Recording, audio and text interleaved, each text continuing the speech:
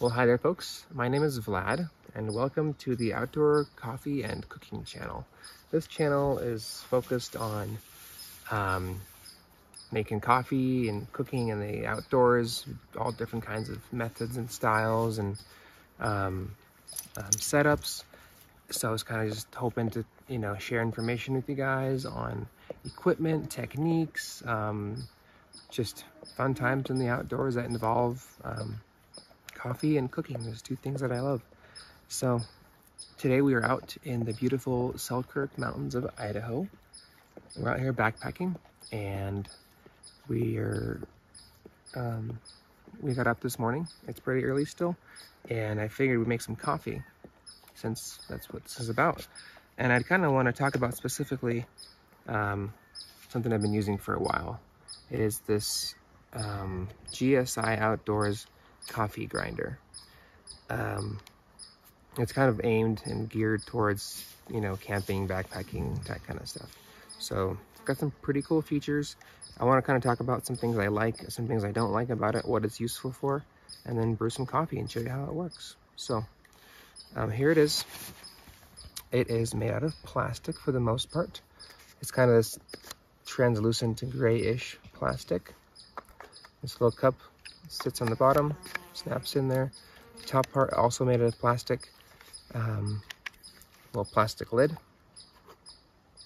goes on top. So that's how you put the coffee inside. And then inside is a set of ceramic burrs. And then the shaft is metal there. And it's secured on the bottom here with three metal screws that screw into the plastic body. So um, it's fairly lightweight. Um, you can read up the specs of this thing in the description down below if you're interested. Um, and then the handle is aluminum and it's got a little rubber handle on there that you can actually reverse. So when you store this thing to kind of uh, save on space, it on there like that. You take that off, you pop this off and put it on the other side, and then you put this back in there and twist it until it kind of clicks and then there you go, that's your handle. So there you go. So that's how that looks. Um, on here, once you've kind of put that handle on there, you can adjust the um, coarseness of your grounds by just twisting this and you get some clicks, but they're they're pretty loose. Um, so yeah, to, to adjust your um, coffee coarseness or fineness, it's kind of just um, like a trial and error technique. You kind of just start out somewhere and just go from there.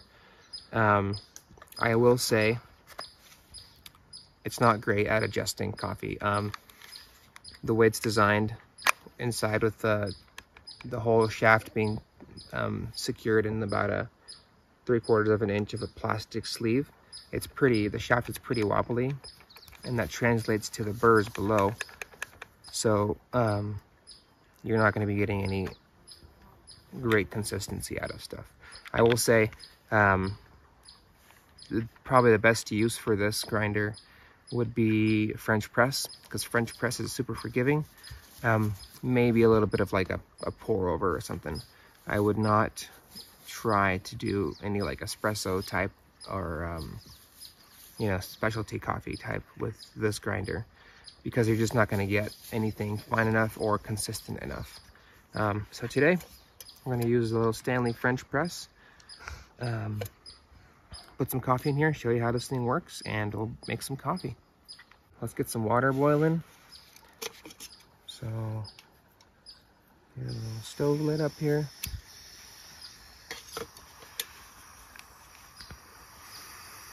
And while that is boiling up, we will grind us some coffee.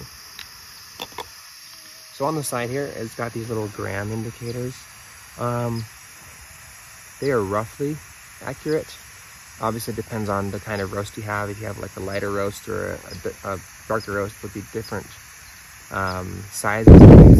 So um, that's pretty rough. But I found that just a full container here of coffee generally makes enough for like one cup of coffee or so, like one and a half, depending on how strong you like it.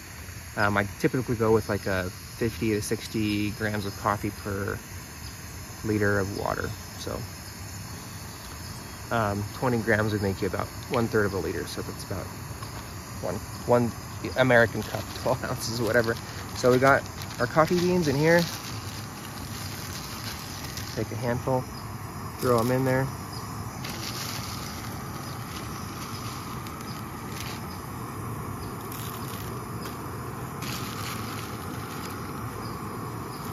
And you want to make sure you don't fill it all the way to the top because this cap kind of sits down low into there. So right about there is usually good. And this plastic cap just kind of slides right over that, like that. Snap the handle in. Make sure that it's actually fully locked. If it's kind of halfway, it starts to kind of wobble and actually starts to wear down the handle and doesn't work too well. So there we go. Start grinding.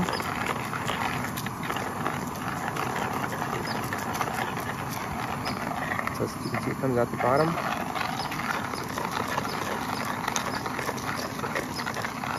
Pretty smooth, and it's nice that it's a pretty good size. It fits in your hand well. Um, not hard to grind at all. And it takes about maybe a minute or so to get the full grinder coffee, so not too bad. We're about, actually we're almost done.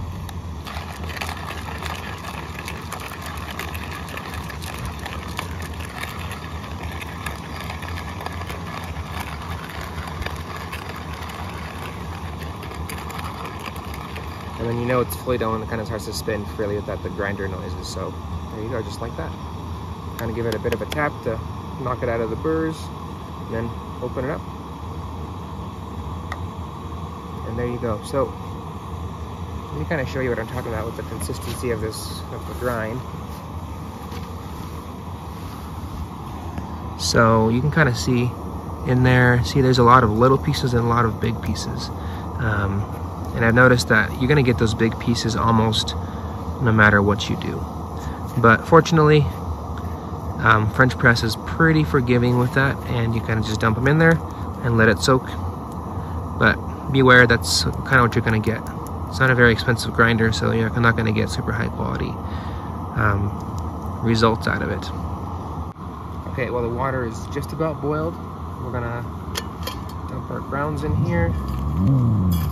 I just dump them right in the bottom. Denali.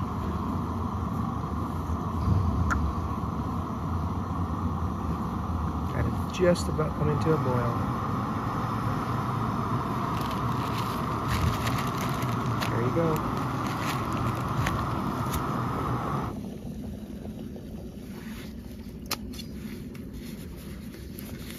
Okay. Pour water in.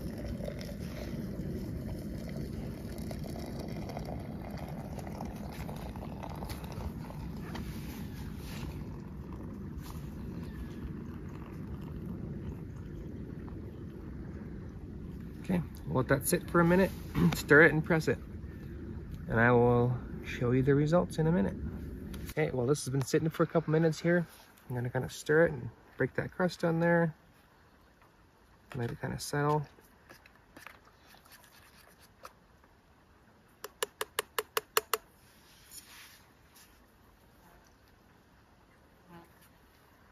Get the little press. Push it down.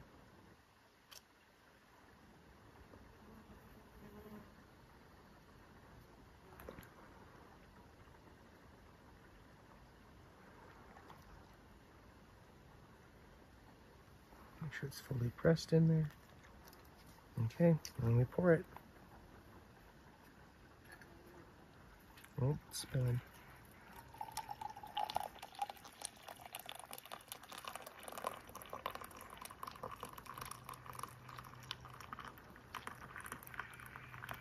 Nothing better than a freshly ground cup of coffee in the mornings when you're out in the mountains. It's good stuff. But yeah, looks pretty good. I mean, it's French press, so you can't beat it. Got a little bit of um, sediments in there, but that's kind of what you expect from French press. Trying to burn myself here.